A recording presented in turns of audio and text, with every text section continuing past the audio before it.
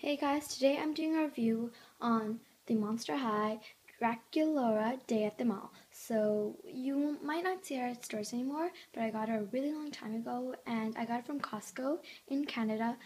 And mm, well, there was Frankie too, but I didn't want to get her, so let's start. Okay, so she comes she comes with the doll, uh, the stand, a doll brush, and don't forget this. It's like a small keychain that comes with Count Fabulous. So I'll do, uh, yeah, okay, let's get started. So she has bangs and her hair is black and pink.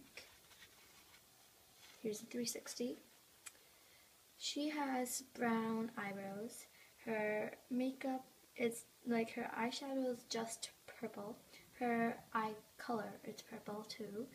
Her she has a small heart on her cheek, right? It's really got dark purple, dark pink around, and light pink inside. Her uh, and her lipstick is purple. Okay, let's get to her outfit. It's actually net, so it's a collar neck net, right? Net. and her sleeves are also made out of net. It's uh, actually a top that's attached to this. So there's ruffles at the front, which are pink, and a ribbon on the front. There is, what do you call it, hearts on it, and it's black. So then there's a skirt. It's three layers, pink, then black net, then pink, then more black net, sorry, okay, four layers. Yep, so it's like that. And Oh, by the way, her hand shape is actually like this. You might not see that many dolls with the hand shape going like this. It's like she's pointing it. Okay, so she has tights, net from here, socks from there, and other dolls you might see hearts, but mine doesn't have it because I got from Canada. And her shoes are heart shaped. There's a bow at the back, and you can actually see through her shoes. There's a dot, two dots on her. Heart. Okay, so I'll see you guys with the extra stuff. So guys, I'm going to show you how to assemble the stand.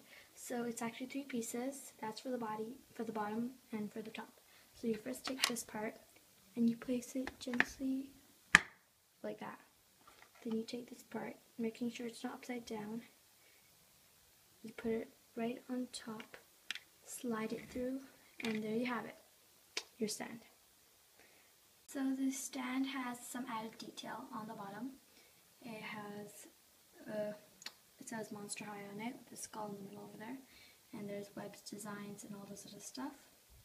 Okay, there's, there's a skull on the top. It's pink and it says Monster High. Don't forget her small pet sash keychain. So it's actually a skull shape around, which has this area where you can actually hang it onto something. And it connects to Count Fabulous. So that's how she looks. And she's actually a boy.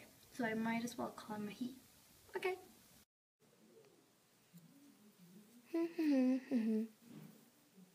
Bye guys, watch my videos.